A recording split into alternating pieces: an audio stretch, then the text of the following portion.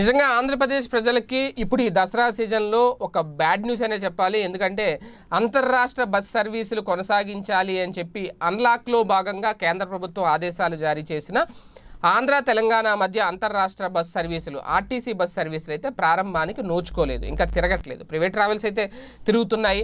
వాళ్ళకి ఇష్టమైన ఛార్జీలను వసూలు చేస్తున్నారు.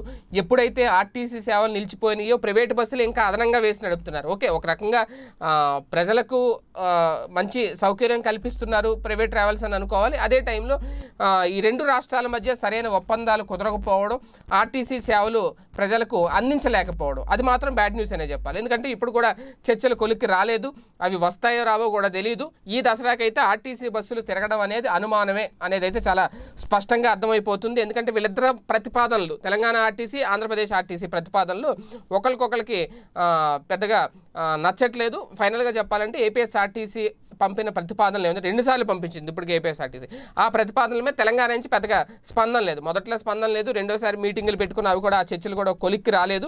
ఒక రకంగా చెప్పాలంటే ఒప్పందం ఒక టైంలో కుదిరింది అని అన్నారు. మళ్ళీ ఆ డిస్టెన్స్ కిలోమీటర్ల వైజ్ ఎన్ని బస్సులు నడపాలి ఏంటి అక్కడ మళ్ళీ అక్కడ వ్యూహం పెట్టుకొట్టింది సో మొత్తానికి ఆ ఛాన్స్ అయితే లేదు. కానీ తెలంగాణలో ఒక రకంగా అదృష్టవంతులు. ఎందుకంటే అక్కడ కేసీఆర్ గారు తీసుకున్న నిర్ణయం.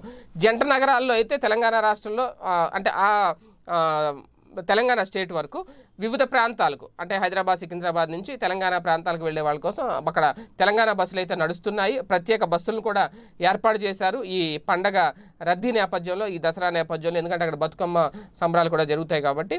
సో పండగ సీజన్లో ఒక రకంగా చెప్పాలంటే ఏపీఎస్ ఏపీఎస్ఆర్టీసీ అంతర్రాష్ట్ర సర్వీసులకి అయితే బ్రేక్ పడింది.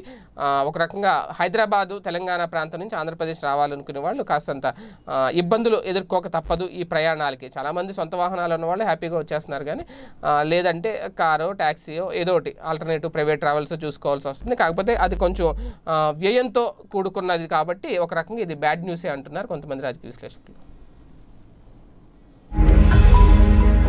ఈ వీడియో గనక మీకు నచ్చినట్లయితే లైక్ చేయండి షేర్ చేయండి. మరిన్ని వీడియోస్ కోసం మా ఛానల్ను సబ్స్క్రైబ్